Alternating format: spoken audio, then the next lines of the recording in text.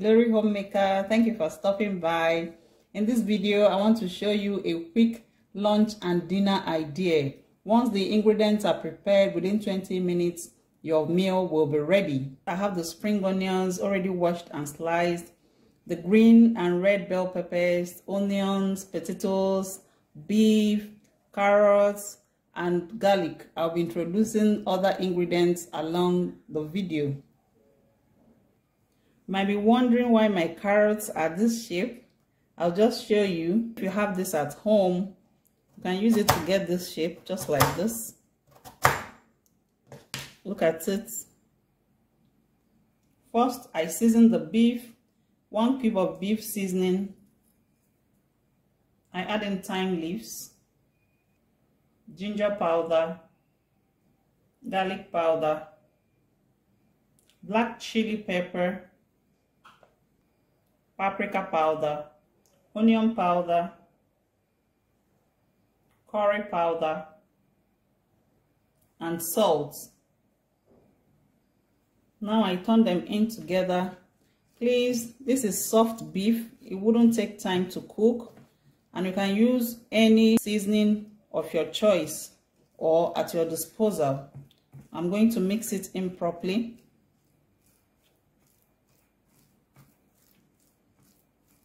Cover this with a fin and marinate in the fridge for 30 minutes.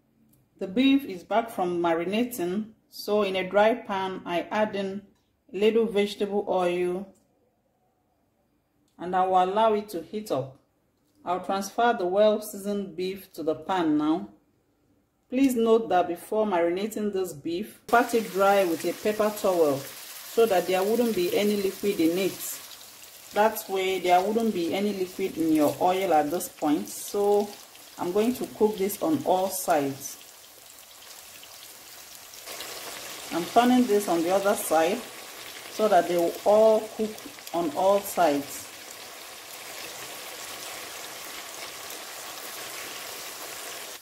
The beef is fried well enough. I'll add in water. I add in the potatoes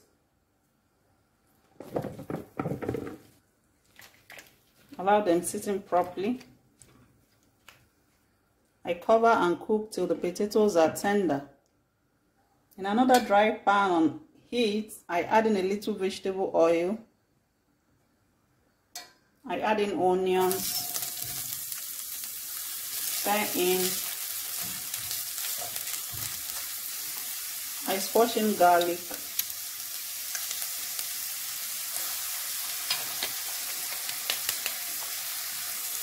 stir in. I fry the onions and garlic for about 2 minutes.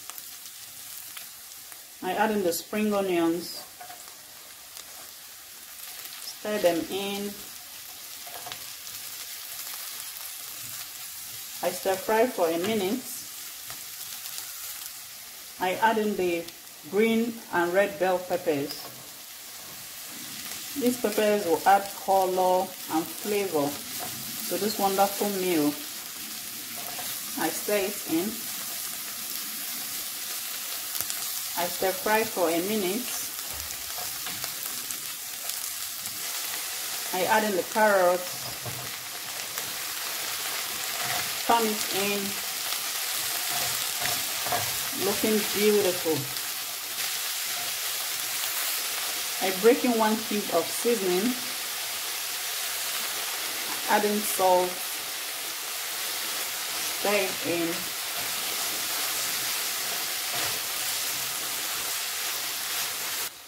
This is ready now. I'll go ahead and pour it into the boiling potatoes and beef. Here is the potato and beef boiling so nicely. Now we add in our vegetables.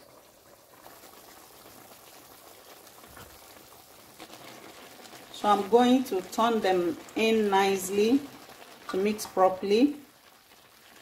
At this point, you can decide to add in cornstarch to thicken it. I wouldn't be having any need for it because potatoes are well boiled. They form a paste.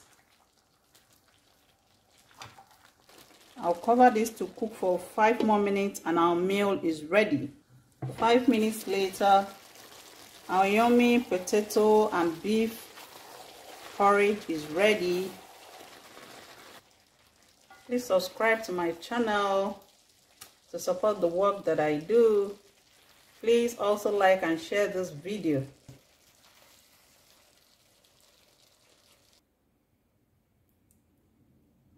Our beef and potato veggie porridge is ready. Come and join me. I hope you replicate this and let me know how it came out for you in the comment section. Thank you for watching and see you in my next video.